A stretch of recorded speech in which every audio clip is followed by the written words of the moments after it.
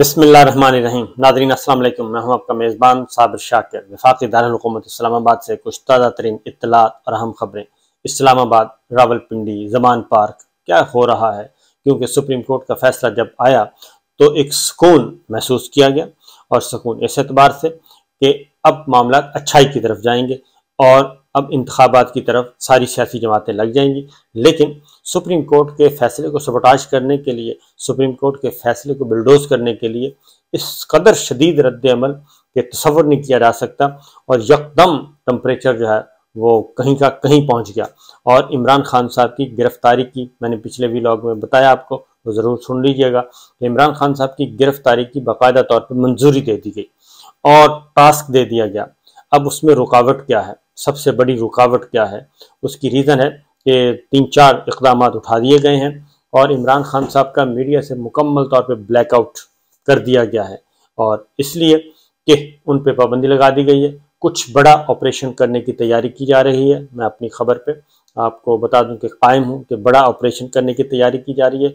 दो डेडलाइंस इस वक्त मार्केट में मौजूद हैं ख़बरों की दुनिया में और ये सिर्फ़ ख़बरों की दुनिया में नहीं है, बल्कि ब्यूरोक्रेट्स में भी ये तारीखें गर्दिश कर रही हैं।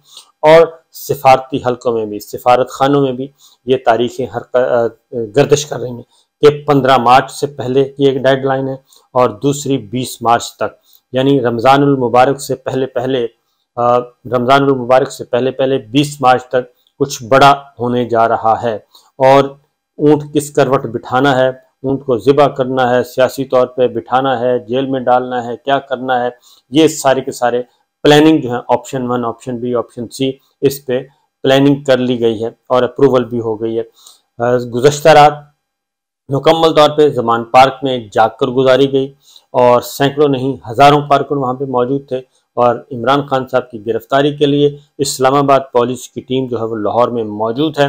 और उन्हें वहीं पर रुकने का कहा गया है कि जनाब आप वहीं पर रुकें और अगले अहकाम का इंतज़ार करें। आ, कुछ इंफॉर्मेशन भी डिसइंफॉर्मेशन इंफॉर्मेशन फैलाई गई कि इमरान खान साहब ने गलत बयानी की है शिबली फराज साहब ने गलत बयानी की है। उनका भी आ गया कि जनाब मैंने जो कुछ लिखा है बड़े सोच समझ के लिखा है। इसी दौरान blackout A R Y A R Y को बंद कर दिया गया। यकदम, यानी कि आधे घंटे के अंदर अंदर ए आर वाई को भी बंद, लाइसेंस मनसूख कर दिया गया, बंद नहीं किया गया, लाइसेंस मनसूख कर दिया गया। इस कदर बड़ा काम होने जा रहा है, इस कदर बड़ा काम होने जा रहा है। पंद्रह मार्च और बीस मार्च की तारीख जहन में गूंज रही है। मुझे किसी दोस्त ने बताई और मैंने उस पर ध्यान नहीं दिया। मैंने कहा, नहीं, चीज़ें अच्छाई की तरफ़ ही जा रही लेकिन उन्होंने कहा कि, नहीं, चीज़ें अच्छाई की तरफ़ नहीं जा रही। और वो एक हफ़्ता पहले कम अज़ कम मुझे एक हफ़्ता पहले ये बात बताई गई, लेकिन मैं मान नहीं रहा था। और अब मेरा ख्याल है कि मान लेना चाहिए, क्योंकि अब तो वो चीज़ें हो रही हैं। पंद्रह मार्च और बीस मार्च के इन बिटवीन बहुत कुछ होने जा रहा है। अल्लाह ताला से दुआ करनी चाहिए, अल्लाह ताला पाकिस्तान की हिफाजत करे, पाकिस्तान को सलामत रखे और पाकिस्तानियों को सलामत रखे, क्योंकि ये जो खेल शुरू हो गया, ज़िद शुरू हो गई है असल में। ये जो ज़िद है अना है अना की तस्कीन है, वो बहुत ज़्यादा ख़तरनाक हद तक उसका टम्परेचर बहुत, उसका लेवल बहुत ऊपर चला गया है। इमरान खान साहब अवाम ने, अवाम खान, इमरान खान को अपनी ज़िद बना लिया है और इमरान खान को किसी और ने अपनी ज़िद बना लिया है। मेरा ख्याल है कि ये जो ज़िद्दैन हैं, इनको ख़त्म होना चाहिए और पाकिस्तान के अवाम अगर इमरान खान के साथ जुड़ गए हैं और वो चाहते हैं कि इलेक्शन हो तो इलेक्शन करवाने चाहिए और इलेक्शन करवा के जो पार्टी भी जीते, उसको इकतदार सपुर्द करना चाहिए। और इमरान खान साहब ने जो ऑफ़र की, जो एक पेशकश की, मुजाकरत की पेशकश की इस्टेब्लिशमेंट को भी की पोलिटिकल प्लेयर्स को भी, अपने मुखालफिन को भी की, उन सबको वो पेशकश कर चुके हैं। उसके बाद मेरा ख्याल है कि ये जो कुछ एक्टिविटीज़ हो रही हैं, ये कम अज़ कम भी कहा जाए तो ये ज़्यादती के अलावा कुछ नहीं है। ये बिल्कुल एक ज़िद है, एक कना है, एक ईगो का मसला बना लिया है। और अगर रियासती अमूर जो हैं वो ईगो से नहीं चलते होते, वो अना से नहीं चलते होते, उसमें मफाद देखे जाते हैं, कौमी मफाद क्या है? तो कौमी मफाद को मलहूज खातिर अब नहीं रखा जा रहा। जिस तरीके से, जिस शदीद तरीन, क्योंकि ए आर वाई का T V channel A R Y का लाइसेंस मनसूख कर दिया गया।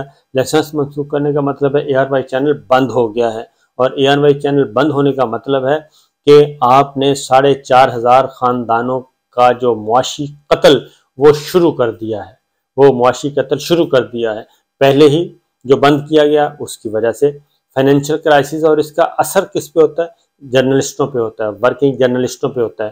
तो आप तो मुआशी कत्ल पे चल पड़े हैं और ये सारा कुछ हो क्या रहा है? मरियम साहबा ओपन जलसों में धमकियाँ देती हैं जजेस को धमकियाँ देती हैं, जर्नैलों को धमकियाँ देती हैं और उन पर इल्ज़ाम आयद करती हैं, गलीज तरीन इल्ज़ाम आयद होते हैं, फिर वज़ीर मैदान में आ जाते हैं, लेकिन कोई कुछ नहीं कहा जाता। किसी को कुछ नहीं कहा जाता, ना ही किसी टीवी चैनल को नोटिस मिलता है, ना ही उनको नोटिस मिलता है, लेकिन एक सबसे बड़े लीडर हैं इस वक्त, और उन पे पाबंदी लगा दी गई, और पाबंदी लगाने के आधे घंटे के बाद ही A R Y TV channel बंद कर दिया गया। और उसके बाद एक और काम किया गया, बोल टीवी चैनल के तीन चार मुकदमात यकदम खोल दिए गए हैं। बोल टीवी चैनल के भी चार पाँच मुकदमात खोल दिए गए हैं, और ये धमकाया जा रहा है। तमाम टीवी चैनल्स को मैसेज दिया जा रहा है। तमाम मीडिया को, मीडिया पर्सन को, मीडिया एंकर्स को, जर्नलिस्टों को मैसेज दिया जा रहा है कि जनाब तैयार हो जाएँ। ये आपके साथ भी यही सलूक हो जाता है। Divide and rule. और अच्छी बात है कि एडिटर्स एसोसिएशन ने और director news and editors association ने इसकी मजम्मत की है। पी एफ़ यू ने मजम्मत की है। दुनिया भर से मजम्मतें आ रही हैं। लेकिन मेरा ख्याल है कि बेहिसी जो है वो इस हद तक और इकतदार का नशा और इख्तियार का नशा इस हद तक खुमार चढ़ चुका है कि कोई देखने के लिए तैयार नहीं है कि इसका नुकसान क्या होगा। बहरहाल देखते हैं क्या होता है क्योंकि फरमाइश है, हुक्म है कि इमरान खान को गिरफ़्तार करें, इमरान खान को डिस्कालीफाई करें, इमरान खान का ट्रायल करें, इमरान खान को जेल में डालें और उसके बाद न सिर्फ़ ये काम करेंगे बल्कि मेरी सज़ा ख़त्म करें, नवाज़ शरीफ साहब की सज़ा ख़त्म करें, नवाज़ शरीफ साहब को तमाम सज़ाएँ ख़त्म करके, उसकी डिस्कालीफिकेशन ख़त्म करके, उनको एक स्टेट गेस्ट के तौर पर वापस पाकिस्तान लाया जाए। ये एक ज़िद चल रही है और ये भी फरमाइश चल रही है कि जनाब, इनका जो ट्रायल है, इमरान खान साहब का, वो डे टू डे बेसिस पे होना चाहिए ट्रायल होना चाहिए, फर्द जुर्म आयद कर देनी चाहिए और डे टू डे बेसिस पे करके सजा सुना के एक दो हफ़्ते के अंदर अंदर, तीन हफ़्ते के अंदर अंदर फारिग कर दिया जाए। ये बाजवा साहब की ये ख्वाहिश थी और वो ख्वाहिश अब इस वक्त चौदह जमाती इतिहाद की नहीं, बल्कि मुस्लिम लीग नवाज़ की, ख़ास तौर पर मुस्लिम लीग नवाज़ की है, शरीफ फैमिली की और मौलाना फजलरहमान साहब की ये ख्वाहिश है। और इस ख्वाहिश की को तकमील तक पहुँचाने के लिए हकूमती इदारे और तमाम स्टेक होल्डर्स इस रियासत के स्टेक होल्डर्स वो इतने अपाहज क्यों हैं, ये मुझे अभी तक समझ नहीं आ रही। क्योंकि देखना चाहिए, सोचना चाहिए कि इस तरह की ज़िद से नुकसान पाकिस्तान को हो रहा है। पाकिस्तान को बजाय इसके कि जो सारे खेल का जिम्मेदार है, उसको कटहरे में लाया जाए, बल्कि उनको कटहरे में लाया लाया जा रहा है, जो इसके जिम्मेदार नहीं है। बहरहाल, ये सिलसिला चल रहा है और सारी रात कोशिश की गई। इमरान खान साहब को गिरफ़्तार करने का प्लानिंग जो है, लेकिन वहाँ पे लोगों का जम गफ़ीर है। सैकड़ों नहीं, हज़ारों लोग वहाँ पे मौजूद हैं और उन्होंने जाग के गुजारी, तराने सुनाए जाते रहे, जागते रहे, सबने जाग कर गुजारी। लाहौर हाई कोर्ट में कल पटिशन फ़ाइल कर दी गई थी। आज उसकी हेयरिंग है और पंद्रह दिन की हिफाजती ज़मानत मांगी गई है इमरान खान साहब ने और वो चाहते हैं कि वो पहले भी अदालतों में पेश हुए और उन्होंने अपनी जमानतें करवाई। एक मुकदमे में उनके वारंट्स इशू हुए हैं। लिहाजा उन्हें पंद्रह दिन की हिफाजती ज़मानत दी जाए। ये एक अजीब खेल है कि, अजीब खेल है कि इस वक्त बहुत ज़्यादा बहुत ज़्यादा एग्रेशन शो की जा रही है रियासत की तरफ़ से। इतनी ज़्यादा एग्रेशन अच्छी नहीं होती। इतनी ज़्यादा एग्रेशन अच्छी नहीं होती। ये हमारी तारीख बताती है, क्योंकि ये हो सकता है कि वक्ती तौर पे आपको कोई जहनी सुकून मिल जाए, जहनी तस्कीन मिल जाए, लेकिन अल्टीमेट इसका रिज़ल्ट जो है वो पाकिस्तान की आवाम क्या सोच रहे हैं? पाकिस्तान की आवाम दो चार नहीं है, करोड़ों पाकिस्तान के अवाम क्या सोच रहे हैं? और आप इसमें ख़ास तौर पर मैं कहूँगा, जो ताकतवर हमारी इस्टेब्लिशमेंट है, उनको एक अहम रोल अदा करना चाहिए सोच समझ के, क्योंकि इस सारे मामले में, इस सारे कजिए में उनको धकेला जा रहा है और सारा ये करेंगे, राना साहब करेंगे करेगी नून लीग करेगी शरीफ फैमिली लेकिन ये मलबा डालेंगे आप लोगों पे। और आप लोगों पे मलबा डालेंगे और नफरतें कदूरतें ये आपकी तरफ़ ज़्यादा इनको इन्हें ये बढ़ाने की कोशिश करेंगे। बहरहाल क्योंकि कल इमरान खान साहब ने एक तकरीर की और वो अपने ज़ाहिर है अपने कारकुनान से मुखातिब थे लेकिन उसका फौरी तौर पे जी आ, ये भी सोचने की बात है कि क्यों किसी बड़ी सियासी जमात की तरफ़ से ये चीज़ें नहीं आ रही, क्योंकि कोई भी बड़ी सियासी जमात जो है mature political party mature political leader वो इस तरह के इकदाम का या इस तरह के खेल का हिस्सा बनने के लिए तैयार नहीं है। शरीफ फैमिली जो है, या नवाज़ नून लीग जो है, वो अकेली है इस मामले में। मौलाना फजल रहमान साहब हो सकता है साथ हों, और वो दोनों ये काम कर रहे हों, लेकिन हो क्या रहा है? सबसे पहले तो कामरान टेसोरी, गवर्नर सिंध वो आए हैं मैदान में। उन्होंने इमरान खान साहब के खिलाफ गुफ्तु फरमाई और उन्होंने इसकी मजम्मत की और बगैर सुने मेरा ख्याल मजम्मत कर दी होगी और ये गवर्नर सिंध हैं। लेकिन दूसरी जानब खालिद मकबूल सदीकी साहब, वो बिल्कुल दूसरी बात कर रहे हैं। वो वज़ीर अजम को वार्निंग दे रहे हैं। वो वज़ीर अजम को बता रहे हैं कि जनाब ये आखिरी बार मैं बता रहा हूँ कि हमारे मामला ठीक करें, वरना ऐसा ना हो कि मामला हाथ से निकल जाएँ। डॉक्टर खालिद मकबूल सदीकी एम के एम के सरबरा वो कुछ और बात कर रहे हैं और गवर्नर कामरान तैसूरी वो कुछ और बात कर रहे हैं और वो इस वक्त विफाक को सपोर्ट कर रहे हैं और इमरान खान साहब के साथ जो कुछ हो रहा है, उसको सपोर्ट कर रहे हैं। फिर मुस्तफ़ा कमाल साहब, वो भी आए हैं और उन्होंने भी ये बात की खालिद मकबूल सद्दीकी साहब ने कहा है कि इमरान खान को छोड़ें, हम पे नज़र करम फरमाएँ और ये प्रोजेक्ट नाकाम हो चुका है, हमें, हम पे हम पे जान निछावर करें। हम ही हैं हम ही हैं और हम ही पे नज़र करम नज़र इनायत होनी चाहिए। किसको कह रहे हैं? ये अजीब बात है कि सब के सब कह रहे हैं जी इलेक्शन फला तारीख को नहीं होने चाहिए फला तारीख को होने चाहिए। इनकी गवर्नमेंट है सब कुछ इनका है सुना किसको रहे हैं? ये अभी तक अभी इसका किसी को भी शायद अंदाज़ा नहीं है। तो बहरहाल जी आ, मैं आपको बता दूँ कि आने वाले दो चार दिन ही नहीं अब तो एक एक लम्हा जो है वो काफ़ी नाजुक और हसास होता जा रहा है। और जो अजाइम नज़र आ रहे हैं वो नजाइम अजाइम कोई इतने अच्छे नहीं हैं।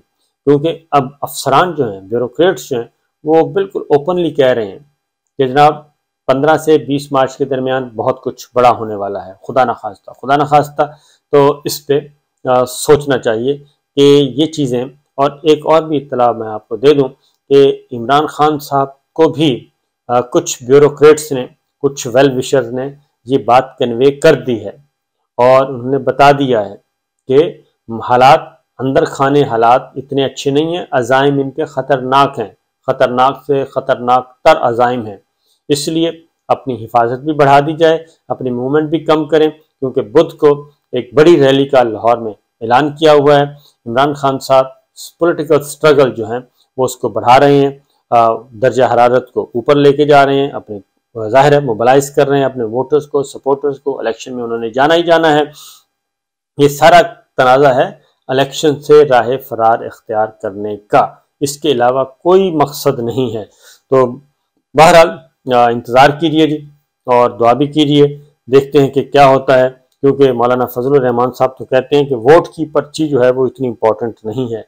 तो वोट की पर्ची से ही ये पाकिस्तान तख्लीक हुआ था और वोट की पर्ची से ही इकतदार मिलता है और वोट की पर्ची से ही इकतदार जाता है। इसको कानूनी और आइनी इकतदार का हास हसूल और मुंतकली कहते हैं।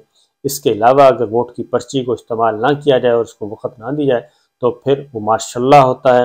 वो इलेजिटिमेट जो है, वो गवर्नमेंट होती है, उसकी कोई हैसियत नहीं होती और वो सारी उम्र ये धब्बा जो है, वो लगा ही रहता है। क्योंकि अब तक परवेज मुशरफ साहब आए, वो किस हालत में गए, वो हमें पता है। उनको सज़ा हुई हुई है, वो सज़ाएँ अभी तक मौजूद हैं तारीख के सफ़ात में, अदालती फ़ैसलों में। उससे पहले जनरल जाहिया को किस तीन अल्फाज में याद किया जाता है, वो भी हमें मालूम है। और उससे पहले जनरल अयूब खान, जनरल जयाद साहब तो इसलिए ये सिविलियन जो मार्शल इस वक्त लगा हुआ है, इसका कोई फ़ायदा नहीं होना सिविलियन मार्शल का, बल्कि आज़ादियों की तरफ़ जाना चाहिए और इंतबात की तरफ़ जाना चाहिए। देखते हैं जी कोई असर होता है या नहीं होता अल्लाह खैर करेगा इजाज़त दीजिए अल्लाह हाफिज़।